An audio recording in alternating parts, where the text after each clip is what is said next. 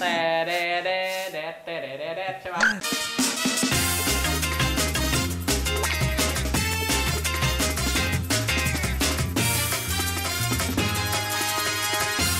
Living Idea ทำอย่างนี้คิดได้ไง สวัสดีครับคุณผู้ชมมาพบกับ Living Idea ทำอย่างนี้คิดได้ไง พี่โอวันนี้เรามีอะไรมานำเสนอครับ วันนี้เราจะมาคุณผู้ชมมาพูดกันถึงเรื่องของตำแหน่งการวางบันไดนะ อืม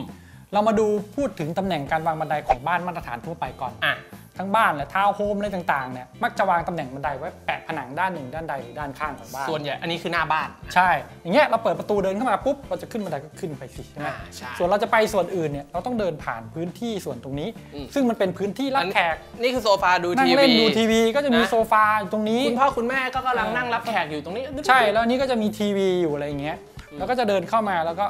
ก็อืมก็ถ้าจะไปครัวก็เดินผ่านสวัสดีครับคุณพ่อสวัสดีแล้วก็เดินไปอะไรอย่างเงี้ย หรือถ้าจะขึ้นข้างบนก็สวัสดีครับคุณสพ่อวัสดีจ้ะแล้วก็ขึ้นข้างบนอะไรอย่างเงี้ยซึ่งรูปแบบแบบนี้เป็นพื้นที่ที่คุ้นเคยกันอยู่แล้วว่าอะเขาจัดกันแบบนี้นะครับก็มีข้อดีข้อเสียซึ่งเรายังไม่พูดในตอนนี้อืมแต่เราจะไปดูฟังก์ชันของรูปแบบบ้านอีกแบบหนึ่งซึ่งเขาไม่ได้วางบันไดไว้แบบนี้อืมแต่วางบันไดไว้อีกแบบเราพาคุณผู้ชมไปดูกันครับไปอ่า คุณผู้ชมครับเราก็จะมาดูบ้านอีกหลังหนึ่งซึ่งรูปแบบการวางบันไดของเขาจะแตกต่างจากบ้านหลังเมื่อกี้ พอเดินเข้ามาปุ๊บก็จะเป็นโถงส่วนทางเดินแบบนี้ โดยที่ไม่ได้มีส่วนที่เป็นส่วนรับแขกอยู่เกะกะเราเลยเพราะส่วนรับแขกอยู่ทางนี้ แล้วบันไดเหรอพี่บันไดอยู่กลางบ้านเลยนะคุณผู้ชม ก็เดินมาอีกหน่อยนึงเราก็จะเห็นตัวของบันไดที่เขาวางไว้กลางบ้านอ๋อแบบนี้ครับผมการวางบันบันไดไว้กลางบ้านแบบนี้มันจะมีข้อดีข้อเสียหลายอย่างอืมข้อดีก็คือว่ามันจะเป็นส่วนของพื้นที่ที่กั้น ส่วนของ living area และส่วนของส่วนอื่นๆ ให้มันแยกเด็ดขาดออกจากกัน แล้วเวลาเราเดินเข้ามาเนี่ยเราก็ไม่ต้องเดินผ่านทีวี ไม่ต้องเดินผ่านโซฟา รับผงรับแขกอะไรเลย คุณพ่อกำลังนั่งดูทีวีอยู่ เราเดินเข้ามาปุ๊บ เราก็แอบจิ๊บจิ๊บจิ๊บจิ๊บขึ้นไปไปเลย เออ ไม่ต้องทักทายอ๋อเฮ้ยไม่ดีดิเพราะไม่ได้เดินผ่าน อ๋อโอเค ใช่ไหม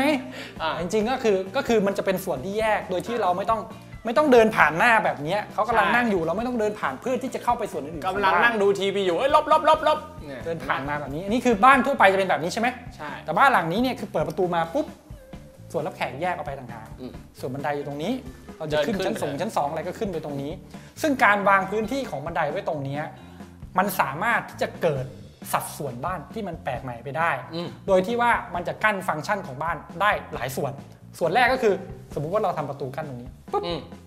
คนเดินเข้ามาก็จะไม่เห็นส่วนด้านหลังด้านในบ้านแล้ว จะเห็นแค่ส่วนรับแขก เออ ใช่ เวลาแขกไปใครมา เราไม่ได้อยากให้เขาเข้าไปที่อื่นของบ้านเราใช่ไหมเราก็ล็อกประตูตรงนี้ใช่ไหมอ่า ก็แค่นั่งรับแขกตรงนี้แขกไม่เห็นส่วนอื่นของบ้านเรา สำหรับคนทั่วไปก็เดินเข้าไปใช่ที่เหลือเข้าไป ส่วนลูกหลานคนที่อยู่ในบ้านนี้จะขึ้นจะลงจะทำอะไรก็ทำไปสิใช่ไหมแล้วก็มันไม่จะ ได้เกี่ยวกันละ แล้วมันจะกั้นเสียงด้วย ใช่นะครับแล้วมาดูส่วนอื่นกันบ้างนะครับ พอใช้พื้นที่บันไดตรงนี้กั้นพื้นที่ปุ๊บ อืม เราก็จะได้พื้นที่ที่มันค่อนข้างจะเป็นสัดส่วนนะครับ อ่า ตรงนี้ทำประตูกั้นอีกชุดหนึ่งนะปุ๊บตรงนี้แค่นี้ตรงนี้ก็จะเป็นสัดส่วนละคือส่วนด้านรับแขกก็รับแขกไปสิ อืมแล้วฝั่งนี้นะฮะจะเป็นโซนของอ่ารับประทานอาหาร ใช่ โดยปกติบ้านทั่วไปอะ ส่วนรับประทานอาหารกับส่วนรับแขกจะอยู่ติดกันนะใช่คนไทยชอบพาแขกมาบ้านแล้วกินข้าวชวนใช่ กินข้าวอะไรเงี้ยเลยชอบให้สองฟังก์ชันนี้อยู่ด้วยกัใช่มันก็จะเชื่อมเป็นพื้นที่รวมขนาดใหญ่ ซึ่งอันนี้เป็นสิ่งที่คนไทยชอบ คนไทยครับทั่วไปชอบ ได้พื้นที่เชื่อมโยงเป็นสิ่งใหญ่ แต่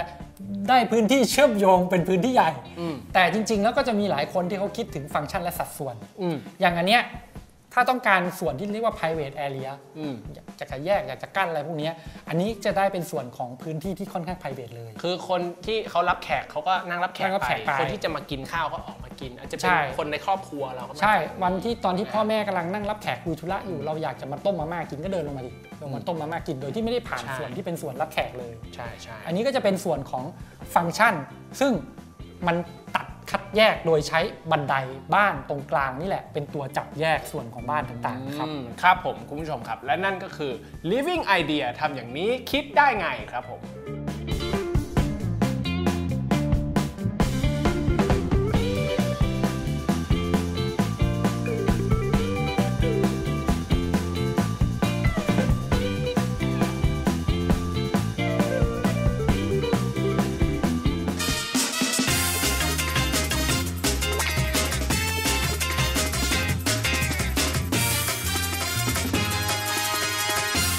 Living ไอเดียทำอย่างนี้คิดได้ไง